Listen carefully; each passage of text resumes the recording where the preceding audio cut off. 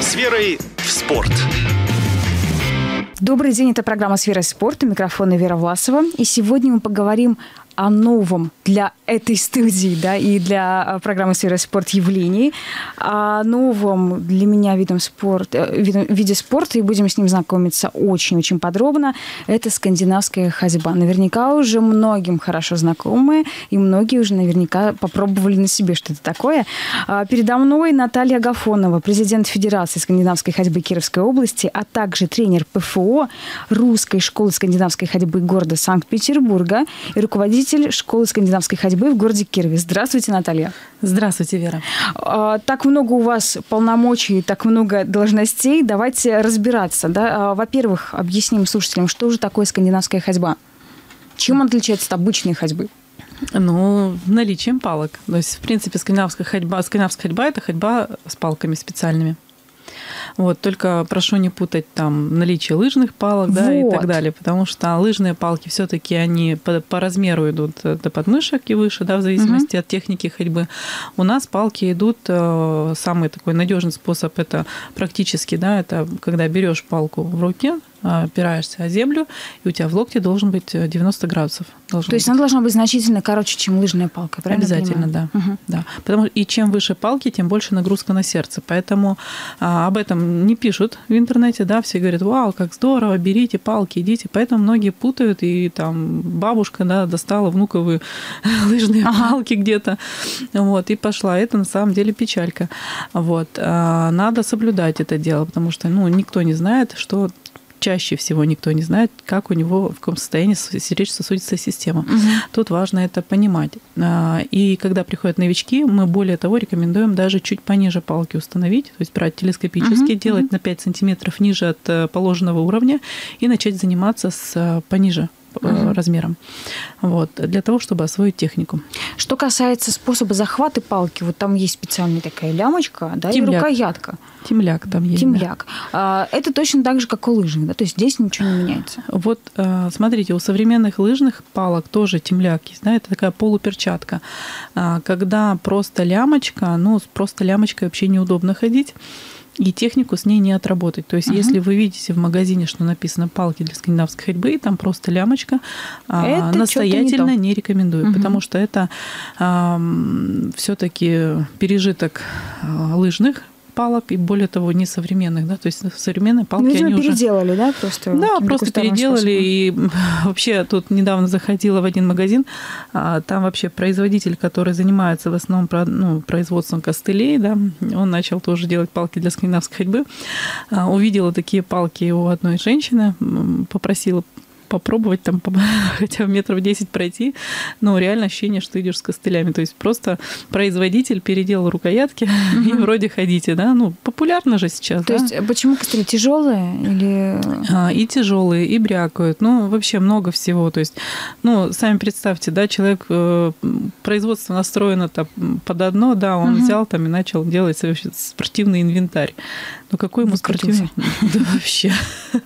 Ясно. Дальше идем. А, по тяжести мы тоже сказали, что должна быть ну, легкая, наверное, да, очень Да, да. То есть, э, если смотреть, э, допустим, алюминий, да, то палки должны весить где-то примерно грамм 400, 420. Угу. Это обе пары. То вот. есть по 200 грамм каждая?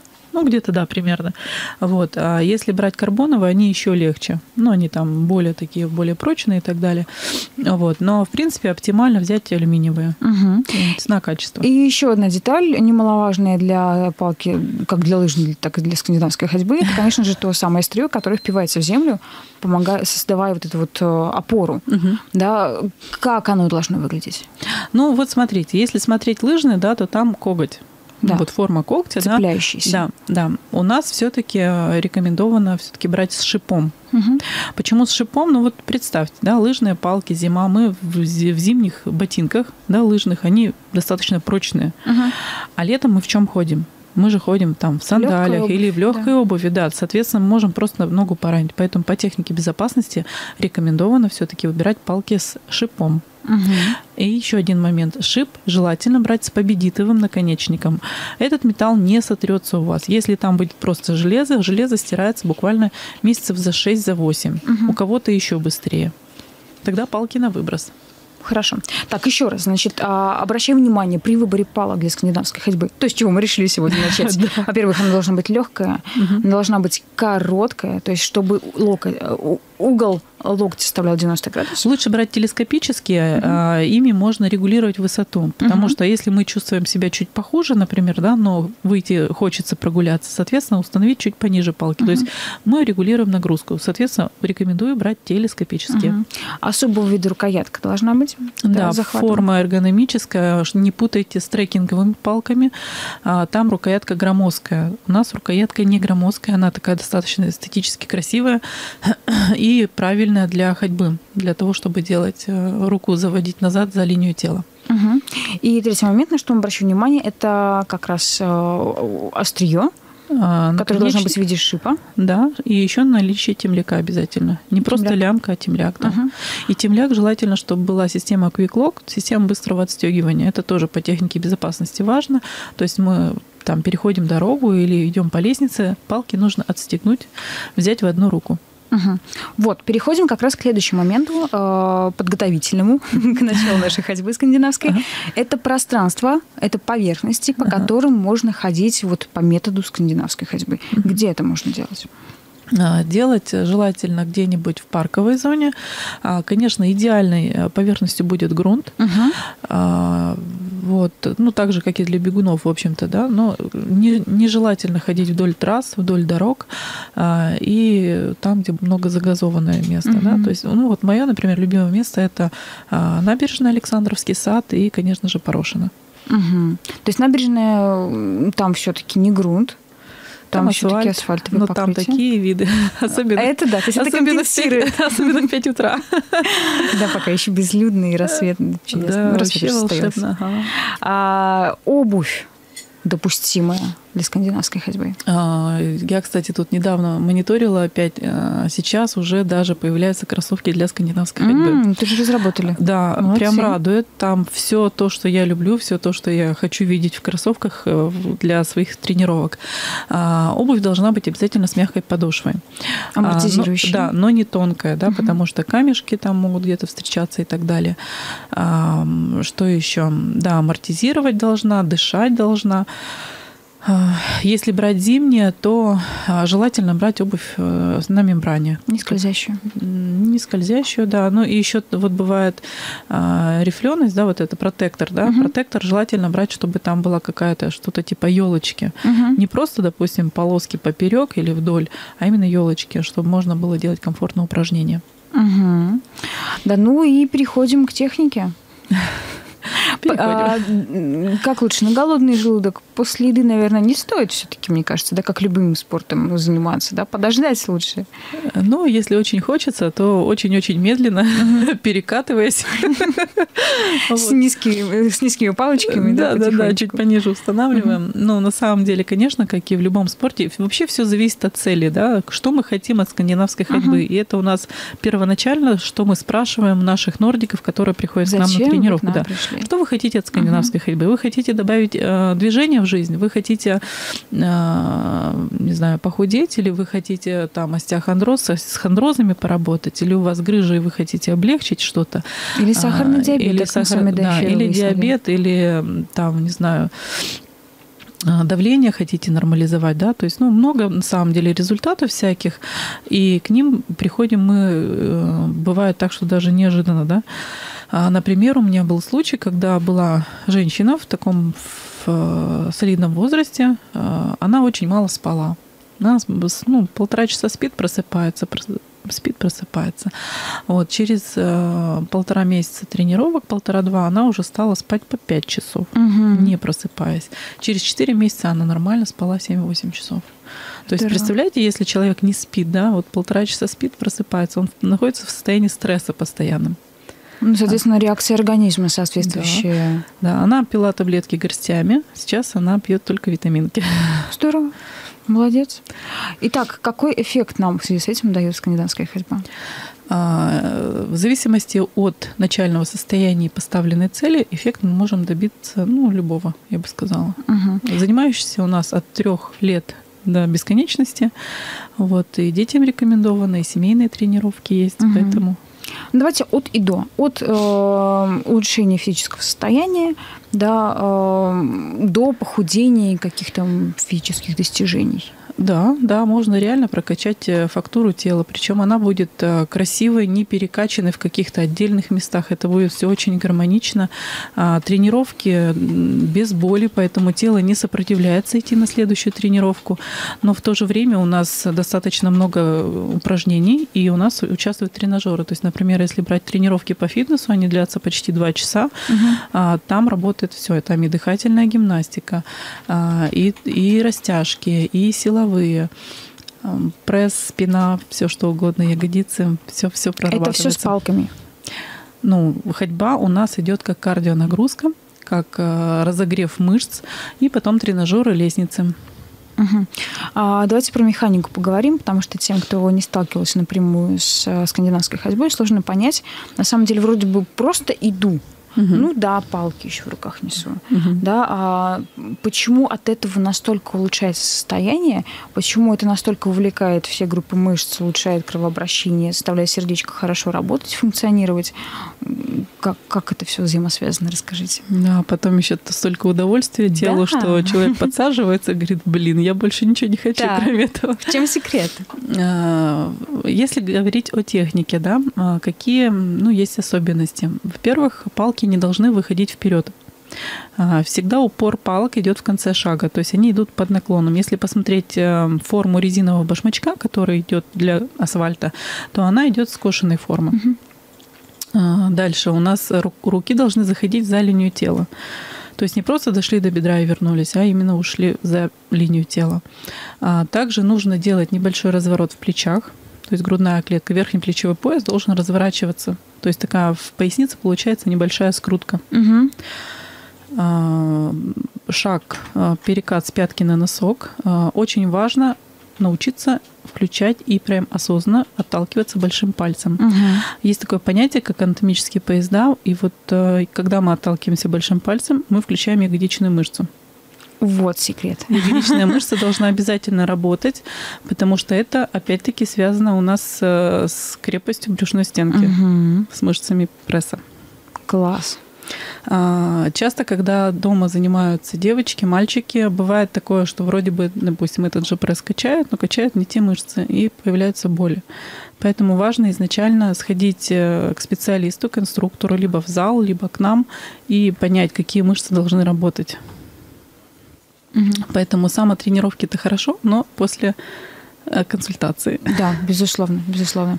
А, итак, за счет того, что действуют, получается, все части тела, задействованы практически все мышцы, угу. за счет вот этой вот механики, которую вы сейчас объяснили. Да, даже лицо работает, потому что ты идешь широко улыбаешься. Широко улыбаешься. И мы еще говорили за эфиром о том, что не только можешь широко улыбаться, но это, пожалуй, единственный вид спорта, ну, может быть, ну да, как вид спорта все-таки единственный, mm-hmm. во время которого еще можно спокойно разговаривать с собеседником. Mm-hmm. И это даже приветствуется. Расскажите об этом, Наталья. А, на самом деле, когда мы идем и разговариваем, да, если мы не задыхаемся, значит, у нас темп нормальный. А если мы идем и задыхаемся, это у нас как индикатор уже, да, соответственно, угу. нужно сбавить темп. Поэтому, когда человек идет самостоятельно, а, ну, самостоятельная тренировка, соответственно, рекомендую хотя бы ну, какое-то через четверостишье периодически проговаривать и чувствовать. Проверять себя. Да, такой самоконтроль. Угу. Сбегая вперед, если мы говорим о соревнованиях по скандинавской ходьбе, неужели в процессе соревнований тоже можно идти и говорить? А, ну, Соревнуюсь. Тут, конечно, уже другое. Тут другое. Когда уже. хочется быстрее при, прибежать. Нет, нет. В соревнованиях, конечно, там а, уже идет все быстрее, все быстрее, там уже не до разговоров, там если а, кто-то начинает говорить это, это уже умышленно, это уже просто отвлекают людей. Ага, да, то заговорить э, зубы, да, и да, заставить остановиться. Поэтому, поэтому, конечно, там э, нужно соблюдать технику, там э, нужно выстраивать дыхание для того, чтобы как раз прийти вовремя, да, в какое-то свою, свое время уложиться и получить хороший результат. А в соревнованиях там нужно не разговаривать, там нужно следить за дыханием. Угу. Четверостишьями или каким-то другим образом?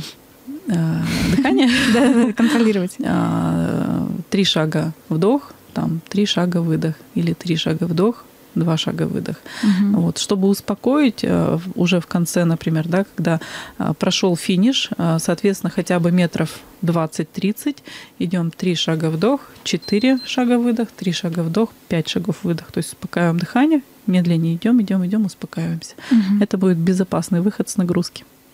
А, да, и еще укажем, что скандинавская ходьба, помимо того, что можно разговаривать в процессе тренировки, это еще прекрасный семейный вид спорта и компанейский вид спорта. Да, да. У нас, а, когда собираются девичьи группы, да, угу. это особенно вечером, это же вообще благо для мужа, потому что ты и потренировалась, и наговорилась, пришла домой счастливая, натренированная, говорить выгоревшаяся, уже, да, выговорившаяся, да. уже все спокойно. И причем а, вот вечерние у нас тренировки, они у нас называются антистресс, потому что за день, когда у тебя накоп, накопилось, да, а, ты вышла в парк, потренировалась, это вот отмечают буквально все сто процентов а, как будто бы вот усталость вся ушла, ты приходишь, у тебя есть силы приготовить, у тебя есть силы постирать, а, и более того, это очень крепкий сон. Угу. То есть качество сна другое. Это э, ты поспишь там даже эти 6 часов, к примеру, да, но как будто бы 8 выспал. Бывает такое, что 9 проспишь и как будто побитый, да, а тут как раз Бывает. качество сна, оно угу. улучшается. Поэтому вечерние тренировки тоже хорошо. Это для тех, кто а, утром не может в 5 утра, к примеру, проснуться угу. к нам, приехать на тренировку. Ну, у вас в 5 утра бывает тренировка? Да, с 5.30 первая Класс. тренировка фитнес. Для тех, кто рано работает, 8 утра, наверное, очень полезно. Да, у нас как раз такие приходят. То есть они сначала потренировались, и более того, там вот на набережной в это время очень много народу. На тренажерах э, буквально нет места, потому что кто-то бегает, приходит Молодцы, на тренажер. Кировчане прям гордость доливает. Да. С утра их прям видно. И там э, не то, чтобы там бабушки гуляют, да, там действительно молодежь, там сильные ребята приходят, прям приятно потренироваться. Красивые девчонки спортивные приходят. Вообще, взглядение. Приходишь, тренируешься вот рядом с ними и, и просто кайф. Ну, там общаемся, всем привет, потом всем классного дня, там угу. тренажер у нас местная такая да, а, место встречи. Да, да, да, да, место коммуникации новых. Да. А, ну, давайте постепенно переходить к повестке нашего сегодняшнего дня. Мы не только о, о самом принципе скандинавской ходьбы хотели поговорить. Давайте, Наталья, с вами плавно так вот перейдем а, к 10 августа. Планируется большое мероприятие, очень важное для а, Федерации скандинавской ходьбы Кировской области. Это первый межрегиональный командный чемпионат по скандинавской ходьбе. Правильно я звучала? Да, все uh-huh. верно. 10 а, августа – это общероссийский день физкультурника. Uh-huh. И так как э, мы сейчас уже стали федерацией, а не просто школы, да, Министерство спорта. В частности, Анна Александровна нас э, поддерживает Анна в этом. Альминова, министр спорта. Да, да, Анна Александровна. вот, а, нам было предложено сделать площадку в День физкультурника. Ну, конечно же, мы не отказались. Угу. Мы выбрали для себя локацию, это Порошино, потому угу. что там уже все размечено, там уже все, можно сказать, готово. Вот, администрация Порошина э, нас э, поддерживает всячески, прям огромное им спасибо спасибо за это. Вот, поэтому, да, чемпионату быть. Причем, почему командный чемпионат, сколько мы уже побывали, поездили, в основном идут индивидуальные зачеты. А, бывает, что до командных зачетов даже дело не доходит. Поэтому мы решили, что Кубок Вятки угу. будет ежегодным и будет именно командным. Сейчас у нас, у нас уже зарегистрировались команды из Нижнего Новгорода, из Перми, а, из Ижевска, а, Подмосковье у нас сейчас раздумывают, москвичи думают приехать, и Сыктывкар. Класс. География большая. Да, Для ну, первого? Киров Для и область, раза, конечно, да. у нас уже в составе. Ну, естественно. А, Причем самые первые зарегистрировались село Косино Зуевского района. А почему именно село Косино? А там очень э, зажигательная у нас э, женщина-инструктор э, Марина Алексеевна Панкратова. А вот, она прям, ну, очень, очень организаторская. Я вот ну, говорю, блин, далеко вы от меня живете. Угу. вот. Но косинцам повезло, да. Повезло. А сколько там а, в Косинцах, а, может быть, вы знаете, сколько там населения, какой процент занимается, сколько людей занимаются ходьбой? Немного. С, с таким-то организатором? Немного, она недавно только уволилась, поэтому пока немного. То есть недавно только начала заниматься? Занимается она давно, просто коллектив у нее, скажем так, свой э, нордиков был небольшой. Ну, я думаю, сейчас она немножко отдохнет от э, работы и, соответственно, начнет. Вот, кстати, почему нордик, расскажите? а, ну, как у нас же из Финляндии все пошло. Угу. И вообще, если говорить скандинавская ходьба, можно сказать нордическая ходьба, угу. финская ходьба, северная ходьба. Вот это все об одном и том же. Замечательно. Дальше про чемпионат давайте поговорим. А, как он будет проходить? Где мы уже поняли, что это порожено, как раз то самое грунтовое покрытие, которое mm-hmm. идеально подходит для скандинавской да, да, ходьбы. Да. Как мероприятие будет организовано? Сколько будет участников? А, пока не скажу. Планируется у нас 150 участников mm-hmm. и порядка тысячи гостей. Mm-hmm. У нас есть команды, которые клубные, допустим, занимается там хор бабушек, они решили выступить. У нас есть корпоративные команды, у нас есть семейные команды. Вот. И есть э, именно такие уже, скажем, специализированные, которые уже там школы скандинавской ходьбы из других городов. Угу, то есть прям школами приезжают к вам? Ну, посылаются, скажем так, своих э, в разведку, потому что общероссийский день физкультурника, он же везде, поэтому да, все да. такие, как так, почему этот день? Я говорю, а почему бы и нет? Я говорю, что у вас там? Я говорю, давайте, давайте, я говорю, зовите своих. Угу. Всегда очень интересно узнать, если, конечно, это не засекреченная информация, вы сказали о корпоративных командах, то есть э, априори это те предприятия, которые а, во главе да, спортивного движения корпоративного Кировской области уже почувствовали значимость для своих сотрудников от подобного рода а, активности скандинавской ходьбы, поняли, осознали, что для сотрудников спорт – это залог жизни, угу. увеличение трудоспособности, активное долголетие. Да, и Сотрудники не болеют, вот, иммунитет не ходят повышается. на больничные, да? да, и приносят предприятию долгие и, и, и очень хорошие доходы. Да. А что это за предприятие? Можем назвать сейчас?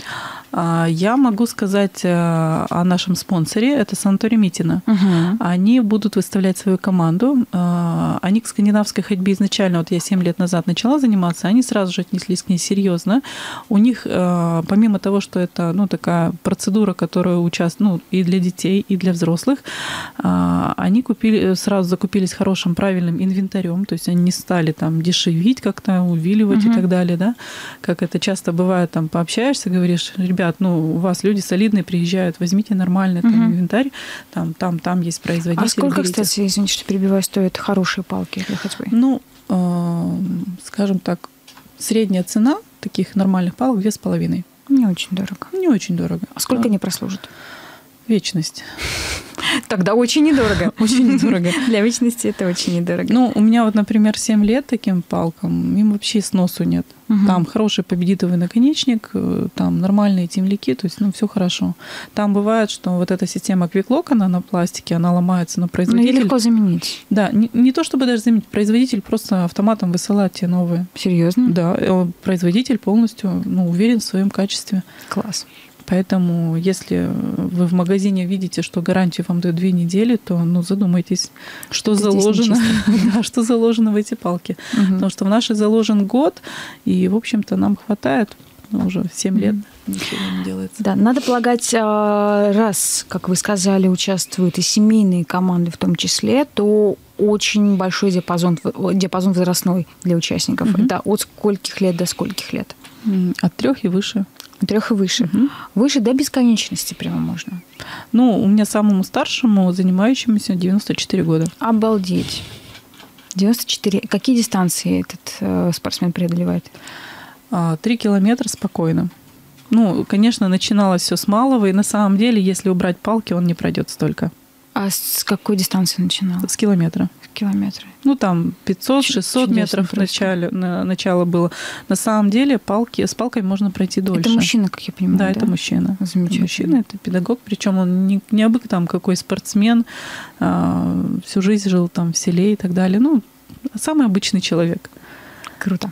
Это очень круто. Будем за него болеть все вместе. Он будет выступать на соревнованиях? Нет, на этих не будет. А там какой-нибудь будет, может быть, торжественный прохождение? Вот будет Мастарт, да, у нас да. Мастарт в 10 утра. Регистрация начинается, выдача стартовых пакетов в 8. В 9 у нас уже Это начнется... все 10 августа. Да, в 9 уже начнется концертная программа. А, в 10 Мастарт, в 11 старт на 3-5 километров. В час у нас уже награждение. Но закончится все в 4. Угу. То есть после награждения да, будет еще какое-то спортивное, э, культурное, да, составляющее, развлекательная составляющая для участников, да? Ну, э, буквально с 8 утра у нас уже будет играть музыка. А концерт будет э, с 9 э, до 4. А также параллельно еще, почему до 4, у нас еще будет организована площадка добра. Вот, давайте расскажем об этом подробнее. А, мы очень такие все сопереживательные. У нас одна из инструкторов, Яна Хлебникова, уже не первый год курирует девочку свою, а, скажем так, э, как сказать, из Ленгасова, да, mm-hmm. то есть и Яна из Ленгасова, и девочка из Ленгасова, а, София Бегунова. И София вот недавно с третьим рецидивом онкологии попала опять в Москву. А, борется она с своей болезнью буквально с полутора лет. А, сейчас ей уже 16 операция где-то тут на днях должна пройти, но сколько еще времени нужно будет восстановления, и ну, на самом деле все там очень тяжело.